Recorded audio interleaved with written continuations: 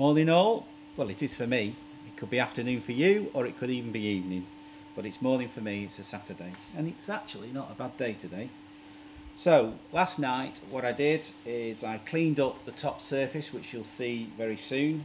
Um, cleaned it all up, masked it up as well because the woodwork. I don't want to get any of this grey primer on, and I'm going to attempt to put some primer on the front two windows and also this flat area on this section and then down the sides uh, and hopefully we can leave that Sunday uh, and then come back Monday possibly and carry on. So what I'm using is uh, I did a bit of research on YouTube and I found that uh, this Interlux International Yacht Primer that's what I'm using uh, it seems to go on really well. Uh, we've got three coats on here. I think I mentioned that to you in the last episode or previous episodes. Uh, it seems to go on really well. Uh, eventually this will all get flattened off, uh, ready for the top coat.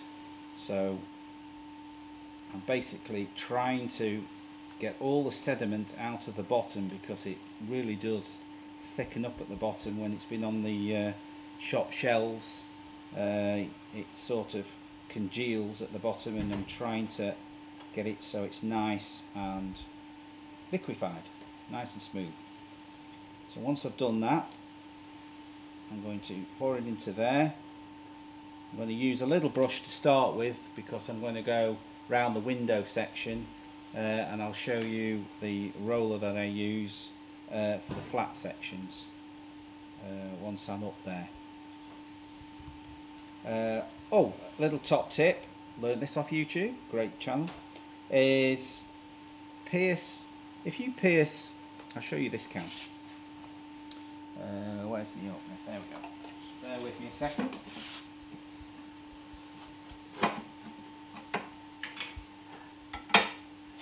First can I ever used, I, I mixed it up, poured it out, and it was thick. When I opened it the next time, it was thick, dried, and bits dropped into the can. And then when I went onto YouTube, uh, a guy said if you pierce around that little edge there everything will drain in and you won't get that again. And sure enough I don't get that again. So that's a good tip for everybody. Because it's not what, cheap this what stuff. do you use? Sorry?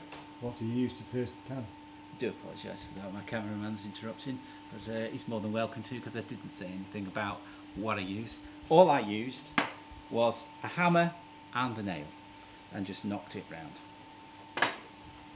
Thank you. You're more than welcome, sir.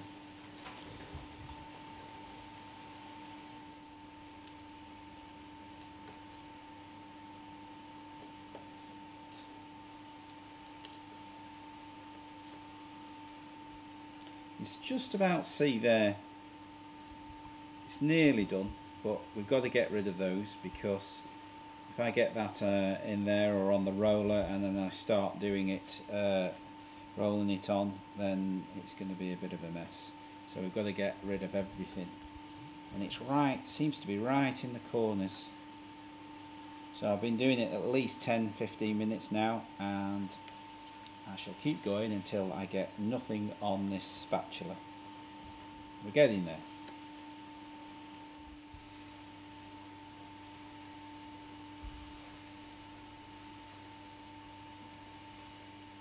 Let me know when you want me to go. I've got toothbrush in hand. You're doing it, aren't you? Okay, so I'm going to first of all, underneath this section here, I'm just going to finish off doing what I did last time.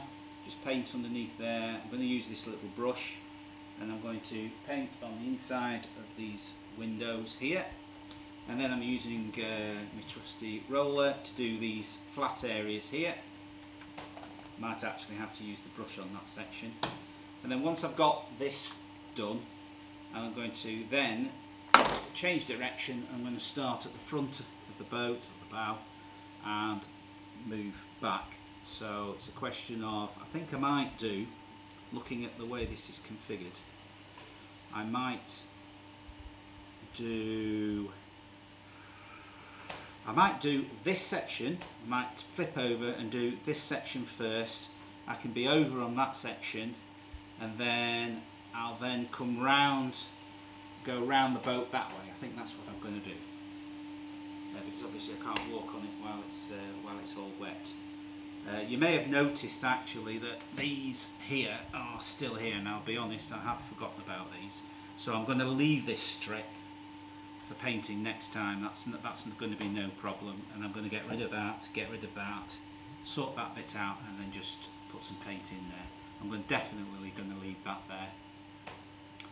Uh, so, uh, oh yes, I must apologise for the way I look because uh, my cameraman is appalled on the, the way I look in front of the camera.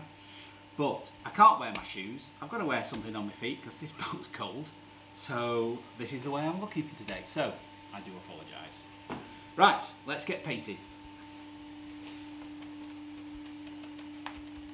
So let's go on here. And just cover up where I've just sanded. It's very forgiving this paint as well, it doesn't seem to drip. It's quite nice to use. I must also point out that I've not been paid by this paint company to use it. I've just noticed that when I was uh, researching people uh, doing boats. This seems to be one of the most popular ones that they use, so I'm basically just going off what other people have, have used. And so far, I have to say it's been it's been fine. I don't know what the top coats are like, but uh, they are of the same make, and you'll get to see what the colour is at a later date. I'm not going to tell you what it is yet, uh, but I'm hoping it's going to look terrific when it's done. So we'll just get these edges done here. Curing time is also not bad either.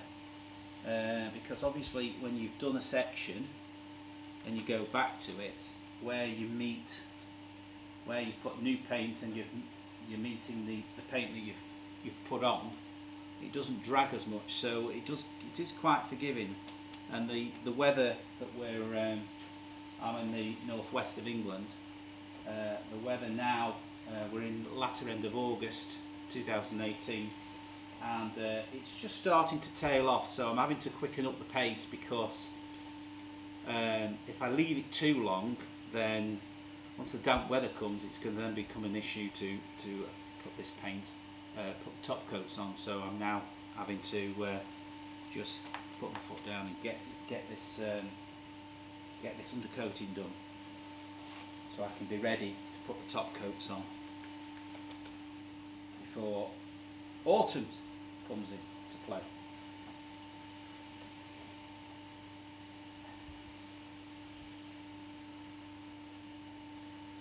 Okay, so that's that in and done. That section's done there. Uh, I shall just paint. I don't think I can use the roller in this bit so I shall use my brush. I'm not overly bothered about uh, brush strokes at this stage because when it comes to uh, the final um, time when it's ready for top coat I'm going to wet and dry it uh, and I should get a nice smooth finish. So I'm not overly bothered about having brush strokes at this stage. And this is only the second coat that this has had. The hull's had the three. That's had two. So I think I'm going to put another primer on top of that one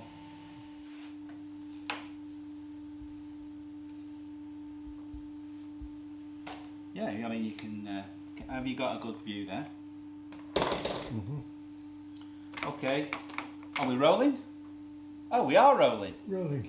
gosh I'm very good at this producing malarkey, aren't you? You're supposed to tell me. Can we get... Oh, I'll tell you what we want. We want one of them... A clapperboard. Clapperboard! Oh, yes. Maybe when we really get into it. Can we have a clapperboard? Oh, gosh. And a chair with, like, producer. and star, that's me of course. Yeah. Maybe when I get up to like 10 views, do you think you'll get me a chair? Anyway, I suppose I better well start talking about the painting. Otherwise we're going to get no views. And a lot of thumbs down. Apparently that's what you get. You either get thumbs up or thumbs down. Right, so I'm on the second section of this window.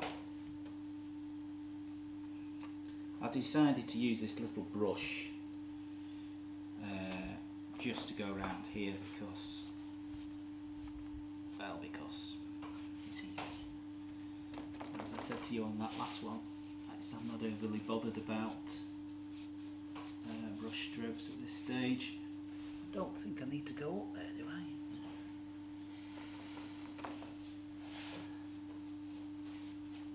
Uh, I must point out that uh, the man behind the camera uh, is my best friend. I probably mentioned that to you, and uh, he's just giving me a bollocking off there for calling him uh, uh, my cameraman.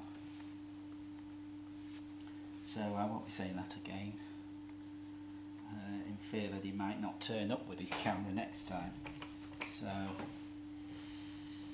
Sorry about that, John.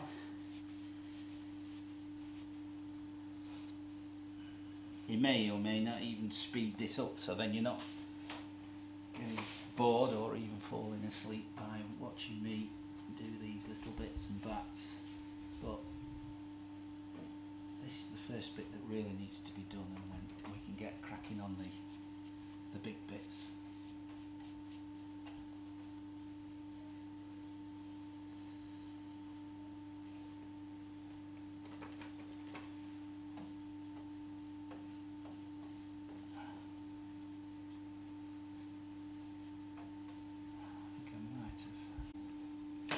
Okay, slight change of plan. Purely because there's very little room at that side for John to stand and show you what I'm doing. So I'm going to do this first. And then I'm just going to do this pad first. And then I'm going to walk all the way around off the boat, use a ladder that he's stood on, and then do that section there, and then follow the boat all the way around to the back. So I shall show you what I'm going to do here. Very short roller, very short fibres. Uh, it'll leave a stipple effect as you will see. You don't need much on.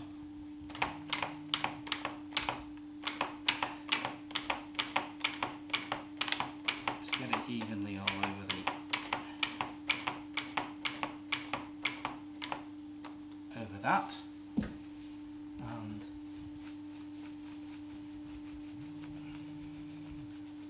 follow the contours of the shape.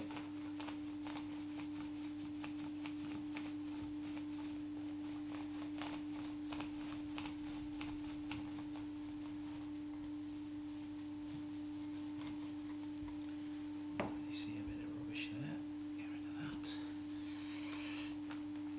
No good whispering to yourself. just saw a bit of rubbish so I just thought I'll get rid of it before I start sticking it in the paint.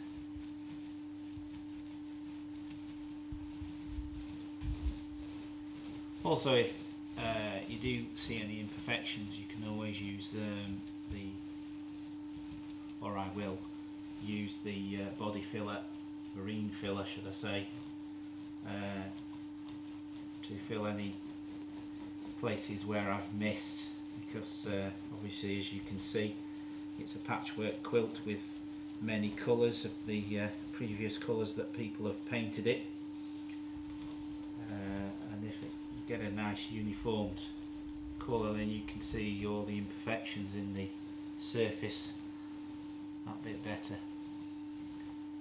As I said to you before you know I'm not going to be overly keen on any slight divots or anything like that. Because I'm sure once it's on the water it's going to get a few more. She's in the way a bit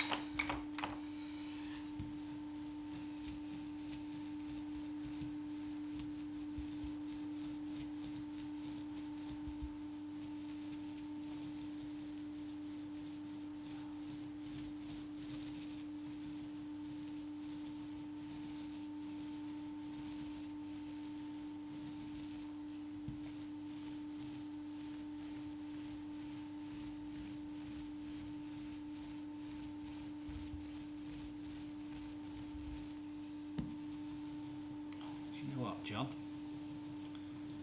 What's that? I think I may have used the wrong roller.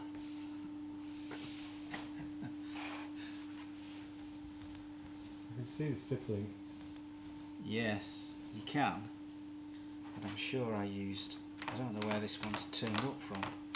I'm sure it was a foam roller. Anyway, I'm not too bothered because it's going to get sanded down. Anyway, or should I say flatted? I was wondering why it was not going on as well as it should. Anyway, there we go. Can't help it. It's already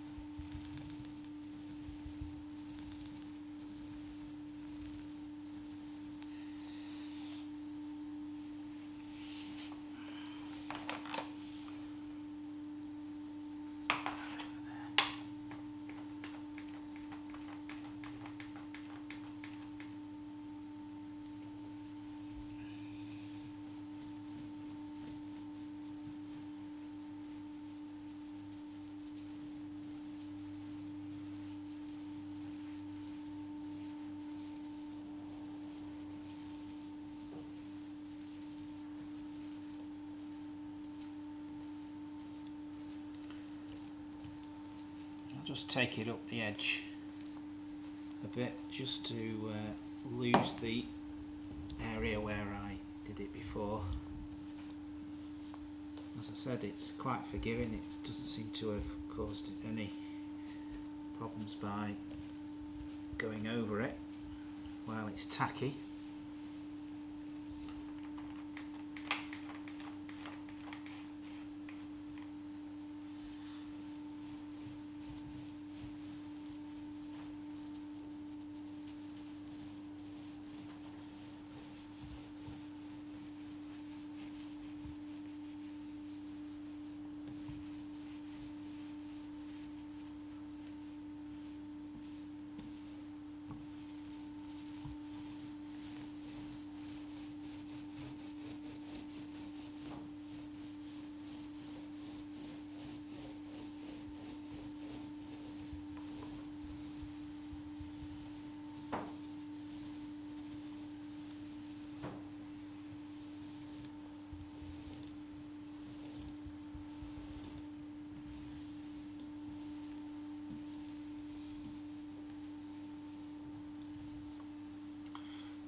Okay, so there we go.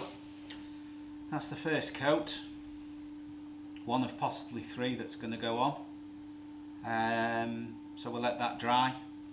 I'm going to uh, move over to uh, the ground level and then I'm going to go down with uh, the roller and go work my way that way down the boat I think until uh, eventually I come round to here when this edge hopefully will be dry enough for me to meet up to it.